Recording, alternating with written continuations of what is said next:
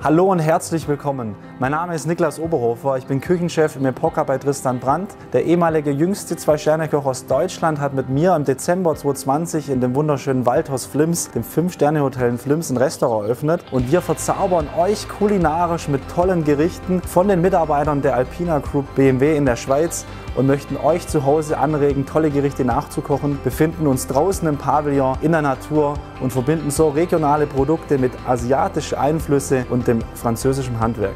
Ich wünsche ganz viel Spaß, seid gespannt, was auf euch zukommt. Ein wunderschöner guten Tag zusammen. Freut mich, dass ihr wieder da seid heute und zuschaut. Hallo. Der Robert hilft mir heute auch wieder, mein Assistent, bei unserem nächsten Gericht. Und es hat Kaiser, wir wollen mal ein Nudelgericht. Ein ganz einfaches Nudelgericht. Und ich habe mir gedacht, nicht jeder hat daheim eine Nudelmaschine. Wir probieren es aber trotzdem aus, weil heutzutage eine Nudelmaschine zu kaufen ist super, super günstig. Kriegt man schon eine Handnudelmaschine zum Durchdrehen für 30, 35 Franken. Und es lohnt sich wirklich, wenn man frische Nudeln machen kann, hat man wirklich ein ganz anderes Pasta-Gefühl. Und genau das machen wir heute. Frische Nudeln mit Pfifferlinge, äh, das schön säuerlich abgeschmeckt ist. Und dann machen wir noch einen schönen Sommertrüffel, den drüber, der, der drüber kriege, äh, ist. Und äh, ein paar Garterkräuter, die wir in die Pfifferlinge reingeschnitten haben. Und das fangen wir auch schon an. Ran ans Werk. Ran ans Werk. Du musst jetzt erstmal Muskeln zeigen, wie die italienische Mama. Und äh, musst mal den Nudelteig herstellen. Ist eigentlich ganz, ganz einfach. Du hast einmal hier Semola. Ähm, Semola ist eigentlich so eine Grieß-Mehl-Mischung, die nehmen eigentlich die Italiener immer, um schöne Pasta zu machen. Und das darfst du vier ganze Eier reinmachen und ich trenne dir schon, schon mal die vier ähm, Eier nur mit Eigelb. Dankeschön. Machst einfach vier ganze rein, genau. Und wenn sie ganz drin sind, kannst du schon mal anfangen zu kneten. Ja, Autoverkäufer können auch Eier zerschlagen. Das, das kannst du wirklich. Das kommt vom, von, von der Frühstückseier, kommt das richtig? Darf schon So mal sieht's anfangen. aus. Ah. Fang ruhig an, kneten. dann ran ans Werk. Du kriegst von mir jetzt die Eigelb. Richtig schön kneten. Wieso haben wir jetzt vier Eier ganz und nur zwei Eigelb? Ähm, es ist wichtig, dass der Nudelteig nicht zu nass wird. Musst sehr, der ist auch sehr, sehr trocken. Du musst immer wieder deine Hand sauber machen. Genau mit einer Hand, das ist ganz wichtig. Machst du sehr, sehr gut. Das ist ganz, ganz wichtig. Immer wieder kneten. Und jetzt kommst du von mir an noch einen Schluck Olivenöl dazu rein. Und direkt ein bisschen Schweizer Bergkristallsalz. Das hört sich doch fantastisch an. Und du darfst jetzt erstmal richtig kneten wie ein Verrückter. Selbstverständlich müsst ihr zu Hause jetzt nicht einen Nudelteig machen, wenn ihr keinen machen wollt. Da könnt ihr euch Tagliatelle kaufen, kocht die ab und steige dann erst in einem zweiten Schritt oder im dritten Schritt dazu ein, wo man dann wirklich die Pfifferlinge verarbeitet und da schönes Sösle draus kreiert, wo man dann die Nudeln abkocht. Aber das ist wirklich ähm, ein Schritt und die Etappe, wo man sagt, okay, wenn jemand wirklich die Mühe hat, einen Nudelteig zu machen, macht's gern, versucht's und äh, es lohnt sich. Es schmeckt wirklich sehr, sehr lecker. Was man sich dabei überlegen muss, ist einfach ganz wichtig, er knetet jetzt locker vier bis fünf Minuten. Dann ist das erst ein kompakter Teig und dann nimmt man es also aus der Schüssel raus und knetet dann nochmal auf der Arbeitsfläche den Teig zu einem ganz kompakten Teig. Ich muss das Ganze so lange kneten, bis all die Krümel zu einem Genau. Klumpen geworden sind. Verstehe. Also brauchst du vier, fünf Minuten. Da musst Also du ich habe noch ein bisschen. Halt noch ein bisschen. Und dann packen wir das Ganze in eine Frischhaltefolie ein und dann ruht das nochmal vier bis fünf Stunden, weil das ganze Wasser muss aufgezogen werden und er braucht nochmal so eine Kühlschrankruhezeit. Und dann ist erst wirklich das Grieß, was im Nudelteig drin ist, ist dann wirklich perfekt zu einem Teig verarbeitet. Und erst dann kann man ausrollen. Wenn ihr keine Nudelmaschine habt, könnt ihr auch gerne mit Nudelholz probieren, geht auch. Und dann könnt ihr den Teig, wenn ihr ihn ausgerollt habt, zusammenrollen wie eine Wurst. Und dann schneidet ihr wirklich kleine Stücke mit Messer runter, dann habt ihr fertige Tagliatelle, dann braucht ihr auch kein, keine Nudelmaschine. Oh, Achtung, da, ich habe gerade eine kleine Schale gesehen, guck mal. Das passiert natürlich, wenn man ein bisschen unvorsichtig ist. Gell? Geübtes Auge. Geübtes Auge direkt sehr, passiert nichts, haben wir direkt noch gesehen und du knetst einfach mal weiter. So, den Trüffel nehmen wir schon mit. Und die Pfifferlinge nehmen wir schon mit. Und ich habe da jetzt wunderschöne Pfifferlinge gefunden. Und einen Sommertrüffel. Also Sommertrüffel muss, muss nicht immer sein, äh, kann man nehmen. Und ähm, er ist halt nicht so geschmacksintensiv wie der Wintertrüffel. Was meinst du, wie lagert man Trüffel am besten? Ich schätze mal kühl und trocken, oder? Ich habe es Richtig? in Piemont mal so gesehen. Viele sagen immer, man legt es in ein Glas, macht ein bisschen Reis drunter, tut den Trüffel einpacken in Folie oder in ein Papier einpacken und lässt es da drin, aber es ist falsch. Weil Trüffel hat auch Wasser. Wenn man da Reis reinlegt dazu, dann entzieht der Reis dem Trüffel das Wasser. Wirklich nur in Papier einlegen, in ein in ein Schnappglas reinlegen und dann hält der Trüffel eine Woche ohne Probleme. Muss aber wirklich jeden zweiten Tag das Papier wechseln. Und dann hat man einen schönen Trüffel. Und wenn wir dann mit einer Microplane fein rüberhobelt, nachher über die, über die Tagliatelle, ist, muss man die Schale nicht wegmachen, sondern wir lassen die Schale dran. Genau. Das Besondere zum Trüffel. Ähm, Sommertrüffel fängt die Saison so Anfang Juni an, kann man sagen. Ende Juni geht es eigentlich meistens los und dann hat man eigentlich einen schönen Sommertrüffel. Man sieht es auch, wenn man aufschneidet. Gucken wir jetzt einmal, machen wir einfach mal kurz, äh, kurz eine Halbierung drauf. So, zack. Und dann sieht man, der, der typische Wintertrüffel, der ist halt komplett dunkel. Äh, dunkel. Der Perigord-Trüffel, sehr, sehr dunkel, sehr marmoriert. Wenn man es wenn riecht, dann, dann riecht man wirklich schön diese, diese Trüffelnote. Und beim Sommertrüffel ist es halt wirklich sehr, sehr dezent. Das ist fast wie, fast wie Kartoffel, wie man, wie man bei uns in der Gastronomie sagt. Die Pfifferlinge haben wir frisch gekriegt heute. Und wie wir es im Gourmet-Restaurant machen, zeige ich euch jetzt mal. Und das macht man wirklich nur im Gourmet-Restaurant. Da fängt man wirklich an, hier richtig schön fein säuberlich vom Ober nach unten mit dem Messer wegzuschälen. Das kann man natürlich zu Hause auch machen. Aber die Frage ist, möchte man das wirklich zu Hause machen? Schneidet dann unten weg. Dann tut man nochmal angucken, ob sie oben wirklich noch gut sind. Schneidet oben ein bisschen noch was weg nimmt ein kleines Pinselchen und tut mit dem Pinselchen noch der letzte Staub weg und dann hat man einen geputzten Pfifferling. Und dann sind die schon bereit zum Ansortieren. Ansortieren heißt ein bisschen anbraten in Butter und Fett. Das war's. So, ich komme zu dir rüber, ich gucke mir das mal an, das sieht, das sieht gut aus, aber du musst ein bisschen kompakter werden und das in eine gute Masse bringen. Der Robert, der knetet jetzt gleich nochmal fünf Minuten weiter, packt das Ganze dann in Frischhaltefolie ein, gibt es in den Kühlschrank. Wir machen in der Zeit sauber, bauen alles auf für die Nudelmaschine und dann lassen wir die Nudeln einmal durch. Perfekt, so machen wir das. Genau.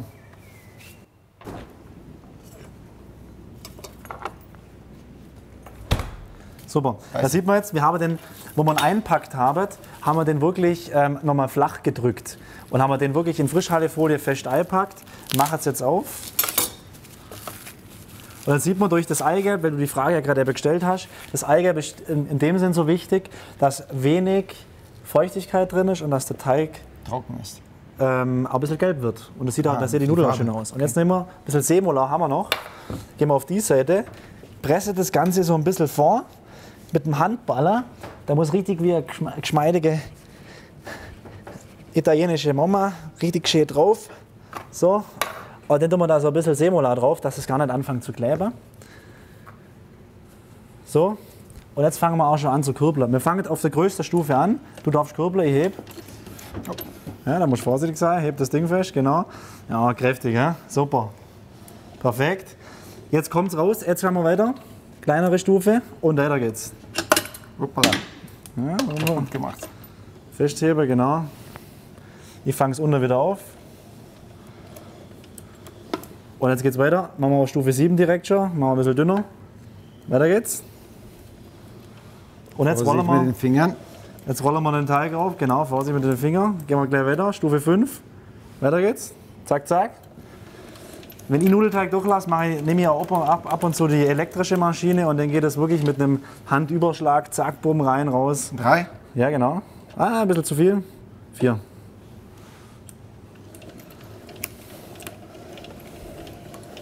Und der Teig wird natürlich immer länger, man sieht es ja. Und äh, jetzt gehen wir auf drei. Ah, machen wir auf zwei. Rein damit. gönnt sich ja sonst nichts. Genau. Und man sieht, es ist so unglaublich toller Nudelteig, das Rezept. Da braucht man fast kein Mehl zum Ausrollen, das klebt gar nichts, das ist unglaublich. So, jetzt gehen wir weiter auf eins und dann haben wir auch schon fertige Spaghettini. Ja, toll. So. Weiter, weiter, weiter, genau.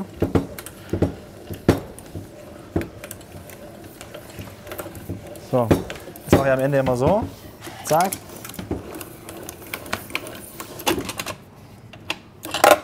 Madonna mia. Ah, Ma che cazzo fa- fai? Ja? Kaputt gemacht. ich spreche kein Italienisch. nee, so rein, zack, Und durchdrehen, jetzt fertig, fertig. und raus damit. So, Und schon fertig haben wir es. Und jetzt brauchst du einen kleinen Aufsatz, weil jetzt müssen wir den anderen durchlassen. Aha. Und jetzt geht es auch gleich wieder von vorne los. Jetzt kommen nämlich die Nudeln raus. Und das schneide ich jetzt vorne ab, weil das stört mich so ein bisschen. Dann nehme ich jetzt aber nicht von meinem guten Nesburg-Messer das scharfe Messer, sondern den Handrücken vom Messer. Und dann zupfe ich es leicht ab. Sonst mache ich das Messer kaputt. Das ist ganz wichtig. Schmeißen wir nicht weg, heben wir aber auf. Und ähm, jetzt fangen wir auch schon an, die Nudeln durchzulassen. Und je nach Länge kann man selber entscheiden, wie groß man sie oder wie, wie lang man sie will. Also darf ich anfangen? Ich lege es rein. Okay, ready? Ready, go. Warte, warte. Nicht zu schnell. Man muss, ja, wieder. Vor, vor, vor, vor. Genau. Dreh ruhig. So. Dreher, Dreher, Dreher, Dreher. Und dann sieht man, wie wunderschön die Nudeln rauskommen. Ich sage dann Stopp. Weiter, weiter, Stopp. Jetzt legen wir das einmal so hin. Und jetzt kann man einfach die Nudeln abziehen und hat fertige Spaghettini. So, ein bisschen Semola drauf, dass er nicht kleben bleibt. Dann tun wir sie in eine Schüssel rein, fertig machen. Jetzt könnten wir die Nudeln entweder in die Gefriere machen, können sie aufbewahren und könnten einen großen Schwung vormachen. Oder man trocknet sie, hängt sie auf für ein, zwei Tage und äh, hat man dann auch Nudeln vorgemacht, selbstgemachte Nudeln. Wie früher bei den Großmuttern. Wie früher. Hängen an der Wäscheleine. Darfst du den Rest auch noch durchlassen? Genau.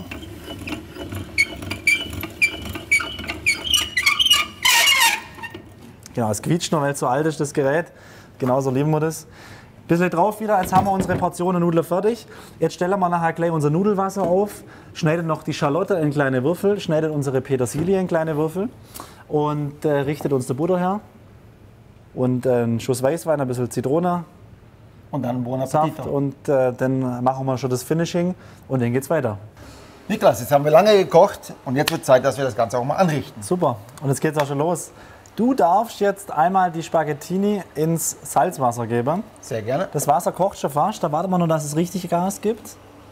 Und sobald es richtig sprudelt, gibst du sie rein Sehr gerne. und dann kochst du die al dente. Das Besondere dran ist, bei so Spaghettini, die äh, frisch gemacht sind, die brauchen allerhöchstens drei bis vier Minuten. Und da musst du aufpassen, machst du eine kleine al dente Probe. Das heißt, wenn sie nur ein bisschen Knack haben, nimmst du dann das Sieb, tun wir sie dann direkt mit dem Nudelwasser rein und schwenket sie einmal richtig schön schlotzig durch. Und ich mache beiläufig hier in meiner Pfanne ähm, leckere Pfifferlinge. Und das ist auch ganz einfach, weil wir dazu brauchen nicht mehr wie Einmal Butter, die wir dazugeben, richtig viel Butter. Butter ist Geschmacksträger. Dann brauchen wir noch ein Zitrönchen. Das heißt, den Al dente-Test, wie man es in der Werbung gesehen hat, gegen Kühlschranktür werfen, wenn es kleben bleibt, sind sie Al dente, den soll ich nicht machen. Das kannst du auch testen. Wenn du willst, dann kann man das gerne testen. Gut. Am Samsung-Kühlschrank machen wir. Ist auch nicht schlecht. So, was meinst du, Wasser? Ja, du, du darfst jetzt schon langsam reingeben. Das passt. Ich warte jetzt hier auf meine Pfanne, das geht gleich ab. Genau. Ruhig alles dazu rein. Super. Et voilà. Et voilà. So, jetzt braten wir das alles schön an. Ich warte, bis meine Butter warm wird. Bin Schauen wir sofort- auf die Uhr, eine Minute. Genau. Perfekt. Ganz wichtig, wieder schräg aufschneiden. Das ist so ein Haushaltstrick. Guck mal. Ich schneide meine Zitronen immer schräg auf, weil das kann ich sie immer von unten nach oben pressen und kann sie immer reintüpfeln, wie ich sie brauche. Ist eigentlich echt schlau. Guter Tipp, habe ich noch nie gesehen. So, jetzt geben wir das hier dazu. Erst die Pfifferlinge, ganz wichtig. Das, was man braucht.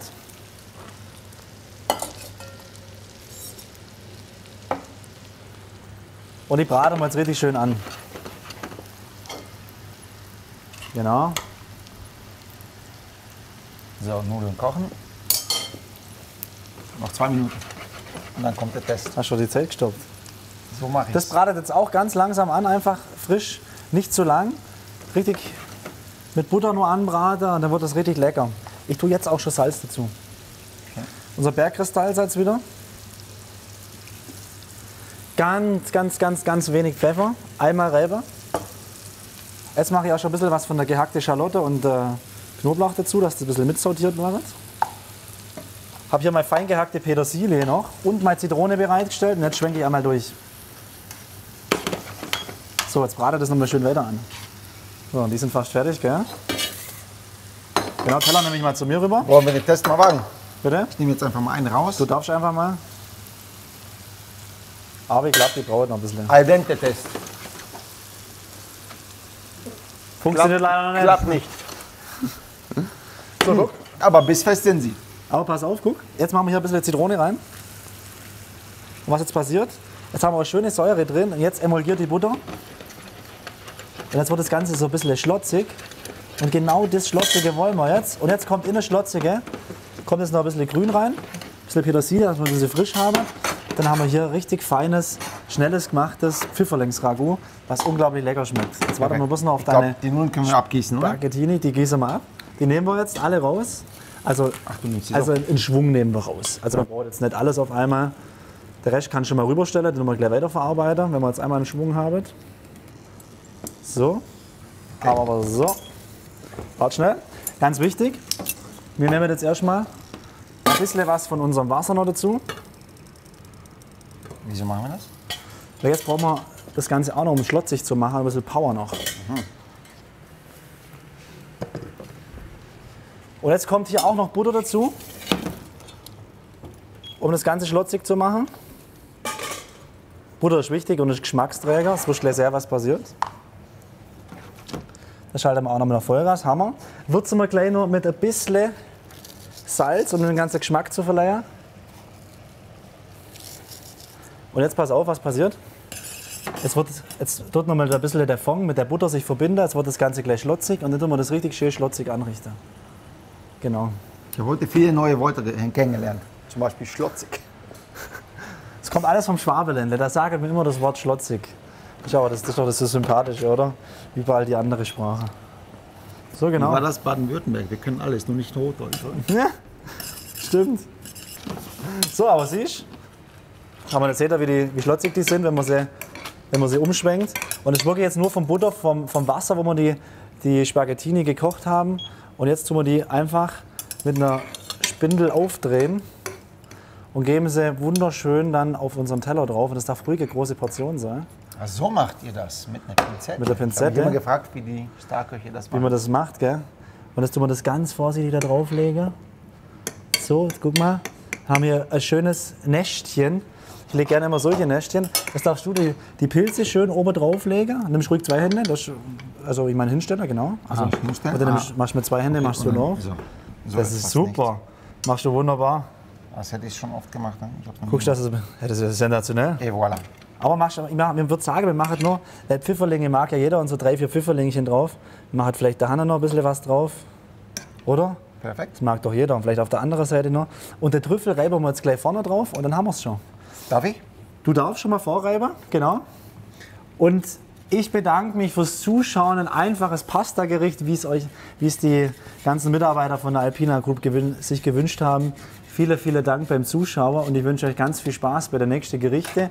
Robert, vielen Dank beim Helfer. Hat mich sehr gefreut. Ich bin gespannt, was du nachher sagst. Butter miteinander. Genießen wir. und Genießt es. Und ich finde, es sieht sensationell gut aus. Auf jeden Fall. Wunderbar. Ich verabschiede mich. Herzlichen Dank. Weiter geht's.